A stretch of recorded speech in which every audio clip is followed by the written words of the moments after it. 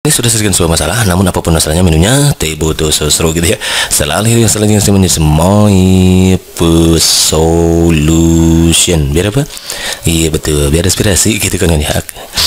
Oke kan kawan gini, jadi berdasarkan FR yang berdar bahwa ternyata soal-soal yang muncul di pedagogi itu soalnya panjang-panjang kayak gini gitu ya. Ini lumayan menyita waktu gitu kan karena sebagaimana kita ketahui bahwa soal itu nanti ada kurang lebih 100 soal yang harus diselesaikan lah selama kurang lebih selama dalam waktu 90 menit gitu. Berarti intinya satu soal kurang dari satu menit gitu ya.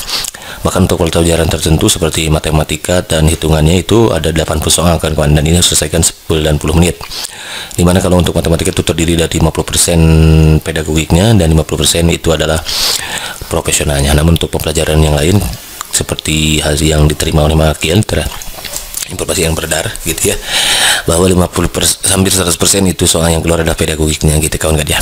Nah tentu kalau kita menyelesaikan soal ini dengan dibaca dari atas satu persatu ini sangat menyita waktu kawan-kawan. Dan ini menyita hampir satu menit lebih gitu kawan-kawan ya contoh kayak gini misalkan ya kalau kita baca cara pengerjaan manualnya kayak gini nih camalnya kita kerjakan dengan camal dulu camal cara manual gitu atau cabi cara bingung gitu ya.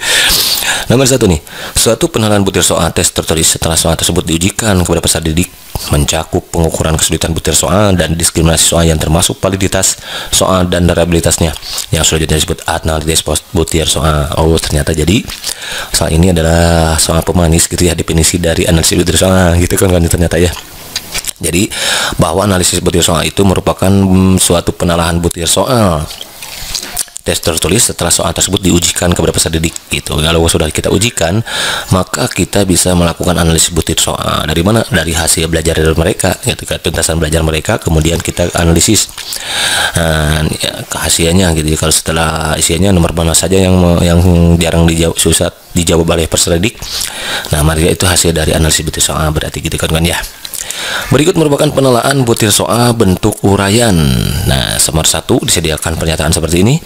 Soal sesuai dengan indikator. Dua, materi yang ditanyakan sesuai dengan kompetisi. Tiga, isi materi yang ditanyakan sesuai dengan jenjang jenis sekolah atau tingkat kelas. Empat, batasan pertanyaan dan jawaban yang diharapkan sudah sesuai. Lima, rumusan kalimat soal komunikatif. Pertanyaannya adalah yang merupakan indikator penelaan butir soal dari aspek materi adalah bla bla bla. Ah, ternyata kawan-kawan ya pertanyaan yang sesungguhnya itu yang ini. Hmm gitu kan kan ya. Berarti kita harus tahu ini semua gitu ya. Jadi cara bentuk penalahan betul soal itu seperti apa sih gitu. Satu soal sesuai dengan indikator. Iya dong, nah, karena ketika kita membuat soal ya harus sesuai dengan indikator, harus nyambung. Kalau kita membuat soal nggak nyambung dengan indikator, berarti dia akan sembuh makan sukro, nggak nyambung, bro, gitu ya. Oke, dia akan sembuh makan cowok bro, gitu ya. Gak nyambung bro. Yang kedua materi yang ditanyakan sesuai dengan kompetensi iya. Nah, jadi soalnya yang ditanyakannya yang berikan sesuai dengan KD-nya kalau kita sedang mengadik KD, mengadik menguji KD 3.1 maka pertanyaannya ya harus sesuai dengan KD ini kompetensi 3.1 gitu. Jangan ditanyakan 3.2 itu sama. Jangan jangan semua makan petek gak nyambung. Bre gitu Nomor tiga, isi materi yang ditanyakan sesuai dengan jenjang jenis sekolah atau tingkat kelas. Iya. Jangan pertanyaan kelas 10 diberikan ke kelas 11, jangan pertanyaan kelas 11 diberikan ke kelas 10 gitu ya. Kasihan itu. Apalagi kalau kayak gitu ya, pertanyaan kelas 12 dikasih ke kelas 10. Wah, itu sangat jelas tidak nyambung juga kawan-kawan ya. Nah, itu juga betul ya harus sesuai dengan jenjang sekolah dan tingkat kelas di sekolah ya jangan per pertanyaan SMP kita berikan kepada SMA gitu atau pertanyaan SMA kita berikan kode SMP kasihan ya gitu ya yang keempat batasan pertanyaan dan jawaban yang diharapkan sudah sesuai. Ya betul. Yang kelima rumusan kalimat soal komunikatif. Ya berarti ini gitu kan kan ya. Kalau ini dari kalimat ini kan gini Penelaan butir soal itu di, bisa dilihat dari beberapa aspek ya. Penelahan butir soal itu satu penelahan butir soal makin singkat jadi BS ya.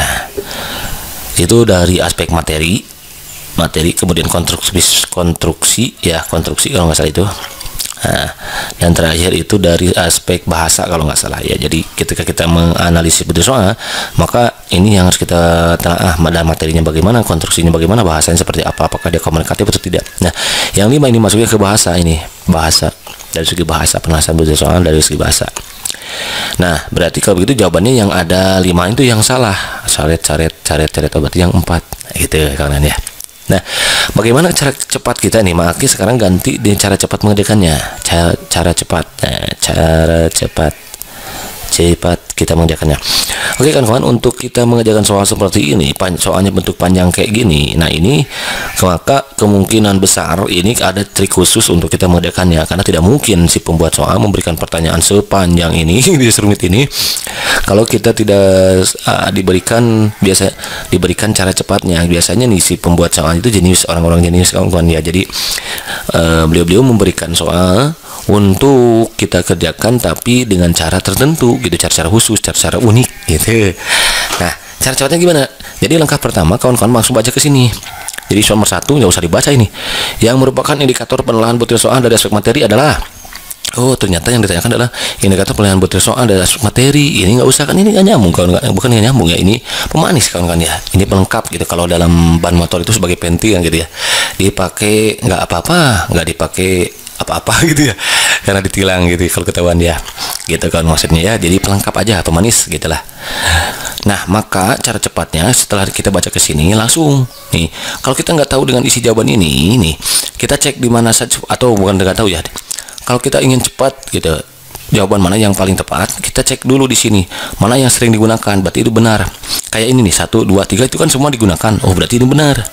Nah ini benar. Nah, coba cek yang ini 2 3 4 5 2 3 4 5 dari 2 uh, eh, ternyata nggak pakai satu dua coba cek nomor satu. Soal sesuai dengan indikator. Oh ternyata harusnya masuk kan? Tapi di sini dari dua materi yang ditanyakan sesuai dengan kompetensi uh, dua tiga empat ini juga masuk dua masuk tiga empat masuk ya. Yang nggak ada yang jarang itu lima dan empat. Kita cek nomor lima dan empat. Empat batasan pertanyaan dan jawaban yang diharapkan sudah sesuai Ah, berarti sudah benar, empat benar, berarti empat benar. Coba cek yang nomor lima, rumusan kalimat soal komunikatif. Oh, ternyata ini kan dari segi bahasa, bukan materi. Berarti ini yang bukan. Yang ditanyakan kan yang yang merupakan indikatornya karena lima itu bukan berarti yang ada limanya itu jelas yang salah berarti ini ada limanya wrong ini wrong ini enggak ada limanya ini betul ini wrong ini wrong wrong wrong wrong berarti yang betul mana iya betul. Yang ini kan. Selesai deh begitu kan kan ya jadi jawaban jawaban tepat yang mana? Yang C gitu kan kan understand? Ini ini jadi mantap gitu ya kayak kalau mantap next berikutnya. Nah, itu dia. Ini contoh format penahan butir soalnya kan. Dari aspek materi itu kan bener ya. Dari aspek konstruksi bener di bahasa bahasa. Nah, silahkan kawan-kawan searching lagi video maki tentang analisis butir soal judulnya ya. Kalau yang kawan berdua singkat di sini oke. okay. Lanjutkan yang sudah dibahas. Oke, nomor dua nih lagi-lagi soalnya bentuk seperti ini. Berarti tadi gimana cara cepatnya langsung baca ke sini. Ya nggak usah dibaca ininya pernyataan yang merupakan bentuk pelaksanaan pembelajaran media adalah bla bla bla. Nah lagi-lagi soalnya seperti itu. Uh, berarti kita disuruh mencari pernyataan yang mana? Nah, cek lagi. Kalau kita nggak tahu, cek lagi di sini. Oh, satu dua tiga banyak digunakan. Satu dua tiga benar, satu dua tiga benar, berarti satu dua empat. Ini empat lima empat dan lima yang jarang. Coba kita cek nomor empat. Nomor empat mana? Pemberian pembelajaran secara khusus, misalnya bimbingan peseorang jika jumlah peserta didik yang menggetir media maksimal 2%. Benar ternyata. Berarti empat harus ada. Yang lima coba pemberian pelajaran berbasis tema dan pemadatan kurikulum. Nah, yang ini yang enggak kan kan ya. Pemberian pembelajaran berbasis tema dan pemadatan kurikulum itu masuknya ke program pengayaan, pengayaan. Untuk kawan-kawan silakan cek lagi di video makai sebelumnya tentang pengayaan dan remedia. Saya ada itu di sana ya. Berarti yang ada lima itu yang salah, yang wrong. Gitu. Ini ada lima wrong, ini ada lima wrong, ini ada lima wrong, ini ada lima wrong. Jadi wrong, wrong, wrong gitu. Yang belumnya, iya betul yang empat ternyata ya satu, dua, tiga, empat. Coba kita cek bener nggak? Eh, sebetulnya ini langsung aja jawab gitu ya. Tapi kalau kita ingin misalkan penasaran coba cek ya. Nomor satu benar katanya ya. Pemberian pembelajaran ulang dengan metode dan media yang berbeda jika jumlah peserta didik yang mengikuti media lebih dari satu iya kan? Nah, ya, oke kan kan jadi remedia itu perlu kita ketahui sekedar mengikatkan lagi melalui maki gitu ya. Sebetulnya ini sudah maki bahas di video sebelumnya. Jadi pembelajaran media itu kalau peserta didik yang tesnya di bawah KKM ada lebih dari 50% maka wajib diajarkan pembelajaran remedia dengan cara pemberian belajaran ulang. Contoh misalkan ada 30 peserta didik yang tuntas ternyata nih yang tuntas ini misalkan 14 orang yang tidak tuntas TT ya, tidak tuntas itu ada 16 orang berarti kan ini kan lebih dari 50% Nah, maka kalau lebih dari 50% ini gunakan pembelajaran ulang, pembelajaran ulang. Nah, gitu kan kawan ya. Yang kedua, pemanfaatan pemanfaatan tutor sebaya. Benar boleh ini pakai ini. Yang ketiga, pemberian tugas-tugas. Pemberian tugas-tugas kelompok jika jumlah peserta didik yang mengikuti premedial lebih dari 20% tetapi kurang dari 50%. benar ini. Jadi kalau kurang lebih dari 20% tapi kurang 50% lebih dari 20% dari 30 berapa?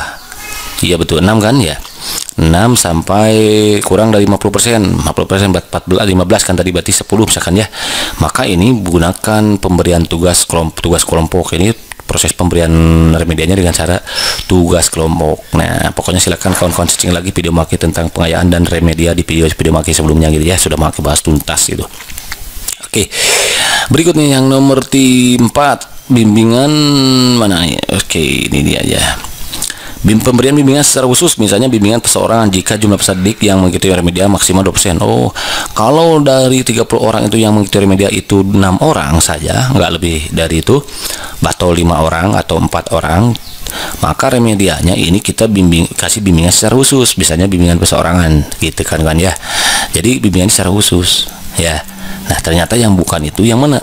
Iya betul yang lima lima. Berarti kalau begitu jawaban yang paling tepat itu yang buk ada buk yang ada lima itu yang wrong gitu ya. Yang tepat ada yang B. Begitu kan kawan understand? Ya minat ini mantap kalau mantap next. Soal number three. Ya oke. Okay. sama lagi kawan kan ya. Jadi cara cepatnya gimana? Iya langsung baca ke sini gitu kan ya. Ini nggak usah dibaca. Coba cek. Pernyataan yang merupakan bentuk pelaksanaan pembelajaran pengayaan hmm, ditunjukkan dengan nomor mana nih?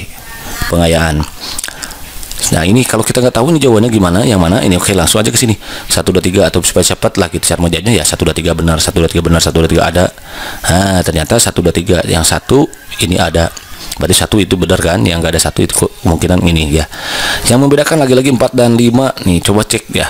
4 dan 5 pembelajaran berbasis tema. Ah ini pembelajaran berbasis tema. Benar ya pengayaan itu ya pemadatan kurikulum bener ini bener ini bener. Oh ternyata bener yang lima yang wrong gitu ya. Berarti kalau begitu yang bukan yang ada limanya itu yang wrong. Ini wrong ini wrong ini. Jadi kalau gitu gaun itu yang B begitu kan ansen.